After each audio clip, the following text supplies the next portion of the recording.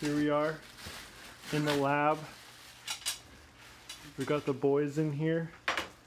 Got a fresh box from Rainhouse full of some gorgeous satellite parts. These right here are the rail panels. Panel rails, whatever you want to call them. Look at that. Oh, So strange to see it in.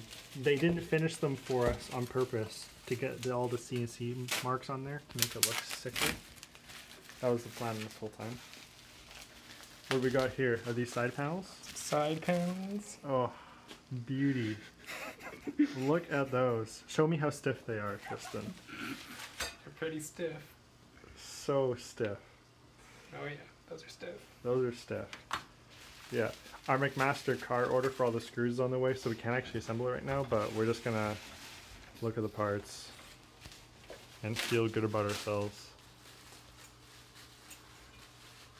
What are those? What do you got, Got there? top caps. Those are some top. Let me zoom in on those. Look at those top caps. Say it one more time, but slower.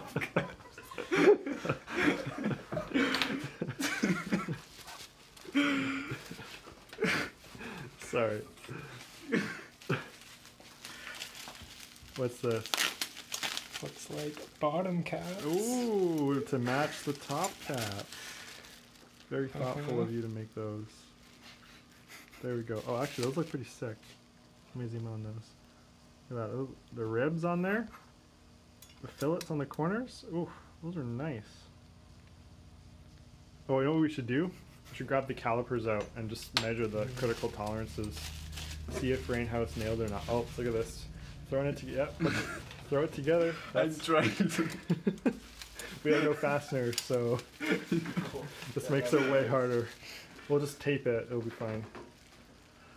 Those some are brackets some for the PCB brackets. electronic stack. There we go. Oh yeah, very nice.